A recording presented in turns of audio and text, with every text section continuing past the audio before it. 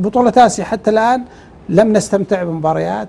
ولم نشاهد كرة قدم ولم نشاهد قوة حقيقية ممكن تنعكس أتمنى مباريات الجولة القادمة طبعا باستثناء المنتخب السعودي اللي ما شاء الله تبارك الله يعني قدم مباراة حقيقة يعني تليق بالمنتخب السعودي وسمعته وبالفعل وجه رسالة للبطولة أن المنتخب السعودي إن شاء الله قادم ولكن زي ما ذكرت هي مباراة كوريا نعم. والمنتخب الكوري كان في حالة انهيار فالمنتخب اللبناني ممكن يسبب لنا إشكالية أو مشكلة كبيرة فلذلك يجب أن نعطي كل منتخب حقه وان احنا ندخل نلعب احنا كمنتخب سعودي ولا نلعب مع نعم. اسماء المنتخبات لاحظ انه هذه المنتخبات ايضا